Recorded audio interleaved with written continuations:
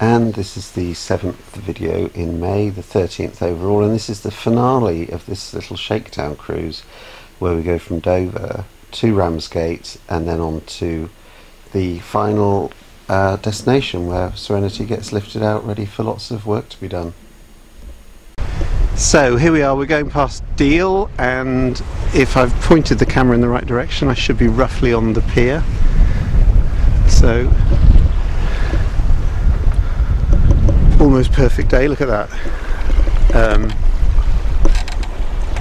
11 knots of wind, wind almost behind us, 1.9 knots, 2 knots through the water, and if you can see that, I don't think you can see that. 5.8 I've only just taken the fenders off. It's we're going to be putting them back on shortly. And there's another yacht over there. It's just character on board, therefore. Oh, I can't see them.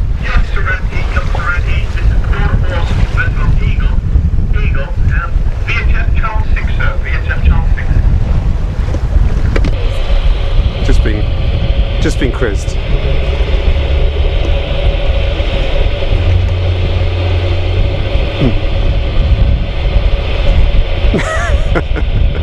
So it's either my daughter or my sister on board that gives me problems. I haven't had anything at all since I've been around, so that's definitely going on the YouTube channel.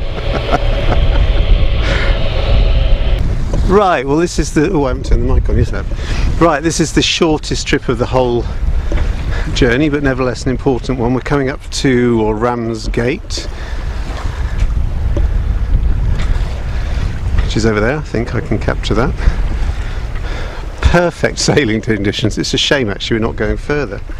Absolutely lovely and Dover way back over there. So, do you want to mention the beginning? it might be a plan, but it hasn't been that perfect. I think it's perfect. What do you say, dear sister? Um, courtesy prevents me from saying what I really think, but it was a little bit rough coming out of Dover Harbour. us. We were being slammed from side to side like nobody's business, to be fair. It is horrible coming out of Dover, people know that, but um, you can't tell people that before they get on the boat, otherwise they wouldn't get on it. My daughter would not have survived this, would she? and we've come all the way over on just one head sail, so I don't even have to have the sails to, to fuss about with. So, excellent. So here's Serenity in Ramsgate and she's on the naughty step a little bit. I might talk about why, because uh, there's no friends near her. Um, and that's kind of the tidal part. And if I scan round, you can clearly see, I think, the sandbank that's on all of the charts. So you do need to be a little bit careful about this when you're coming in. It's marked on the chart, so it shouldn't be an issue. So this is the famous yellow marker rubbish skips buoy which marks the rubbish skips. So here's the inner harbour and there's a lovely sort of frontage with a few sort of artisan type places and then some eateries underneath the arches, very pleasant. So here we go for the final leg and it's fitting I guess based on the way it's gone that we have again got no wind. Um, sister enjoyed it so much having a sail that she's decided to come out and have a motor but at least she got a sail um, and it's a little bit clearer we can see the coast a little bit better. Uh, this is the famous North Foreland somewhere over there. Again the screen is broken so I can't really see so I'll do a little bit of scan and something that you see will be North Foreland. There you go. And loads of boats at anchor. I, he looks laden down actually so I don't know why he's anchoring up perhaps just waiting for some sort of clearance Anyway, onward and upward. Shows how much faith I have in you. oh, I missed videoing that. My sister just said she has a lot of faith in me. Is that true, Chris? I've got a lot of faith in you. Got a lot of faith. Right, we just moored up in uh, what's it called, Harty Ferry, in on HF buoy number four. So I think they could come and charge for it, which is absolutely fine. I think it belongs to the pub. Um, quick scan around. I don't know how much you're going to be able to see. I think that's the pub over there. Ooh, into the sun. It's going to be a lovely sunset. And we have one neighbour. Sorry? Don't forget the colony of seals. I, I nearly, I think I videoed the colony of oh, seals. Yeah. That's when we nearly went aground. and What was that faith I had in you? I'm pretty sure that that sort of mud banky thing over there is the entrance to. Oh, focus. The I think that mud banky thing there is the entrance to Faversham Creek because I can see a buoy sitting on the sand. Yeah, that's Faversham Creek over there, and there's a red Port Marker buoy sitting on the mud at the moment. So we're going to go in two hours be- before high water, which will be nine o'clock tomorrow. High water at eleven. there you have it. Actually, this is the first anch- first moor- first mooring of the trip. Yeah, everything else been anchor and yeah. So here we are, the lovely Harty ferry. Uh, with, if I can zoom in, the very characteristic cranes in the Medway out there. Simply lovely, and it's such a comfortable mooring as well. It's a delight. First mooring of the whole trip, actually, on the final night. Right, so this is the um, the final day of the journey. We're moored up in the Swale. Um, it's a bit breezier than forecast, um, but it's a fine sunny day to go in to have Serenity taken out of the water. So we're going up the river, and when I say the river,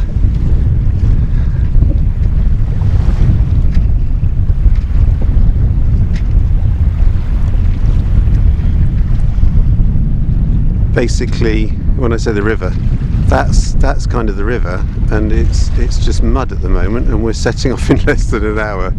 So uh, yeah, feel a little bit squeamy about this, but um, I'm sure it will be all right. He said convincingly. Nothing ever goes wrong for me, does it? Well, we're sort of bumping our way up because we're not even at buoy number two, and we've actually got stuck but at least the water's coming up. The guy at the at the at the boatyard did say, "Oh, you can bump your way up." So anyway, it's not bad here. Uh, a boat did go up just before us, but I think he had a lifting keel or something.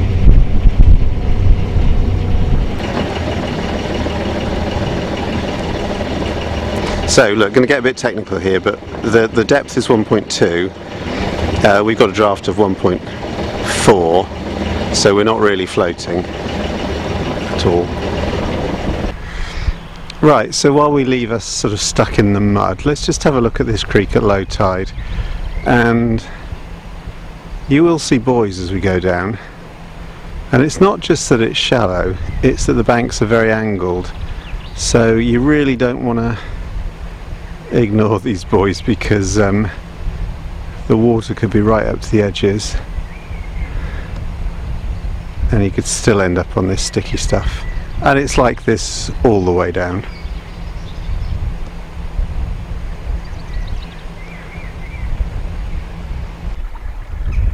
And here's the sort of final stretch, just coming towards the actual boatyard itself. So um, yeah, again you can see it's kind of it's only deep in the middle. Okay, so we were stuck for about half an hour, not the worst thing in the world. I was probably a little bit too close to the red buoys. So um, let's speed the next bit up and have a look going down um, the creek. Um, it's really quite odd because you kind of know that if you get it wrong you're going to be stuck one side or the other. This is past Oare Creek here on the right. Um, another buoy, very very careful to um, adhere to the buoys, and you can understand why. Um, the deal is you kind of stick more or less in the channel or in between the buoy and the channel and slightly over to the outside of the curve but you can see the difference between the port and the starboard marker buoys. Um, yeah, quite straightforward. We did we did actually touch the bottom a couple of times. I don't know if you'll sort of notice it past some houses, and then this is kind of the final stretch. Um, I thought there was a straight bit, but it's sort of it's curvy all the way, really, isn't it? And here we go, and quite a narrow bit. Oh, there's a, there's somebody sculling. Actually, that's the last thing you want, isn't it? Somebody in a rowing boat just before you actually get to the thing. But he was good. He kind of got out of the way, and then into the very narrow gap, and there between the two barges, and there we go. Oh, they said they'd spin around. So here we go, end of the journey.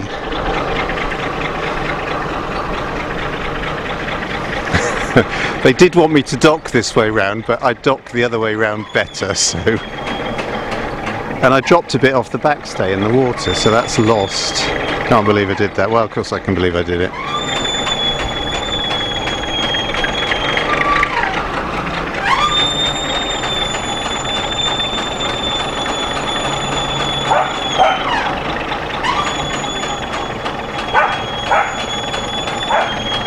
Good to see just how disgustingly filthy the bottom is.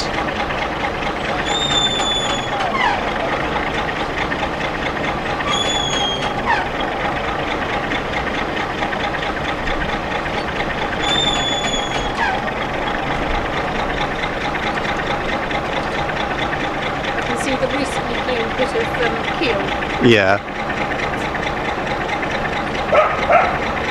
Do you know what? I'm surprised she was moving through the water at all. That is disgustingly dirty.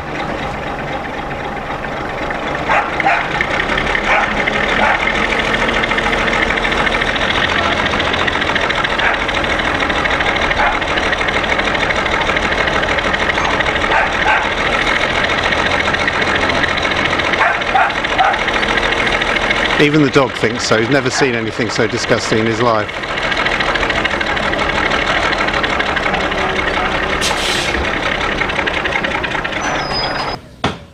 Right, so here we are, out of the water, taking the stuff off the boat. We'll have a quick look around, but this is um, Iron Wharf Boat Shed. Get it right. Iron Wharf Boat Shed. Um, more or less at the end of Faversham Creek, as you'd have seen, because uh, luckily I've just had a look and the footage did come out. Um, I'll speed it up though, coming round. Actually, the footage came out, it looks really wide, but it's not, it's very narrow. That's my excuse for sticking to it. So let's have a quick look at where we are and where we're going to be for the next several months whilst Serenity has quite a bit of work done to her, and I'll, I'll ponder about that later and give you an update later. So there is a tree. I haven't got the windshield on, so I'm covering the wind thing with my fingers. I hope this works. A tree, and we have got a lovely spot up on the Hard in this boatyard. Lovely Contessa 26 next to me. Um, it's a nice place. I like it already, actually.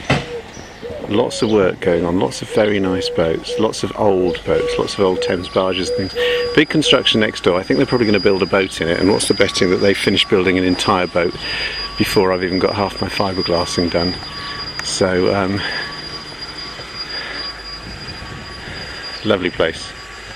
Well, there we go. That's the end of that little phase. Um, that was great fun. I'm obviously sad to have taken her out of the water, but I'm really looking forward to getting on to the next stage, which is to actually do a few modifications, a few changes, get a really shipshape and seaworthy, and um, I shall see you next time.